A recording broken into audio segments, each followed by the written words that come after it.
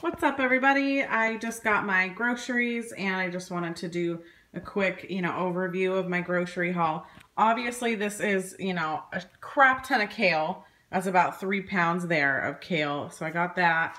I have some frozen Atkins meals and then your butter, some sausage and bacon, cheese, eggs, heavy cream, uh, ham, chicken, and uh, I got lots of broccoli and some Brussels sprouts over there, some cauliflower, some onions, some ranch dip mix, just like the little packet, and then um, my guilty pleasure, my diet root beer. Um, just to kind of go over what this is going to look like for the week.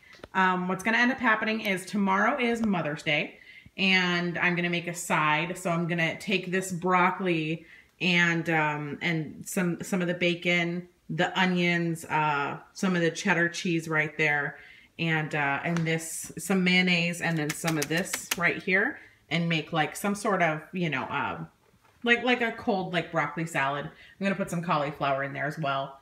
Um, and then Monday um, for work, usually what these sausages right here, two of them will fill me up for like a lunch and they're already cooked and everything. You can eat them cold, you can eat them hot, whatever. Um, and that's usually what I have for lunch. I just have two of these. So it's about 320 calories and, uh, and just two carbs. So that's not too bad at all. And then 22 grams of fat for two of them. Um, so that's usually, you know, that's a good lunch for me to just have two of these. And then for dinner, I'm going to make like a chicken cordon bleu casserole. So that's why I have the Swiss cheese and the chicken and the ham and uh, and then my my cheddar cheese. I'm going to try to make some sort of casserole out of that. Nothing crunchy on the top, but you know I'm completely fine with that.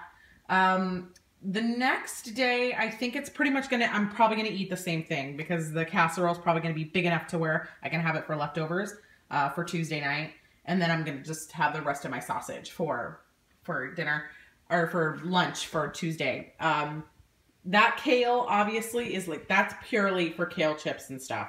I mean, I'll go through that for sure. And that's a really good snack for me to have when I'm at home watching Game of Thrones or whatever, uh, or watching YouTube videos.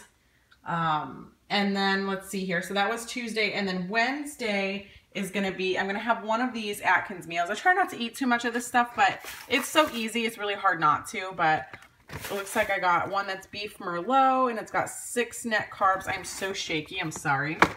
And, uh, and then this one is a crustless chicken pot pie, which I have had before and it's quite tasty. Um, and that's just five carbs.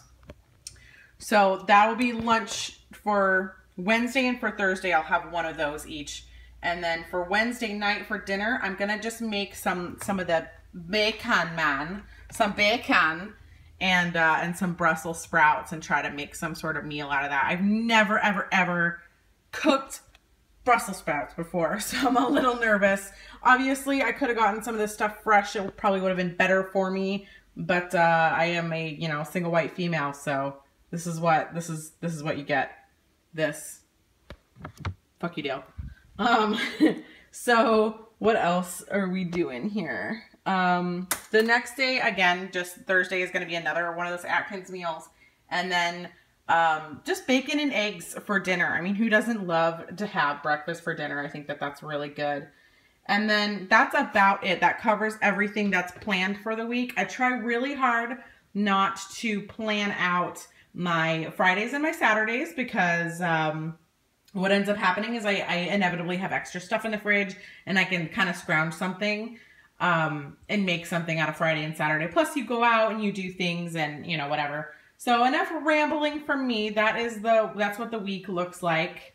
And uh yeah, I hope everybody has a fantastic week. Say hello to your mother for me. It's fucking Mother's Day. Yes, yes. And uh yeah. Bye.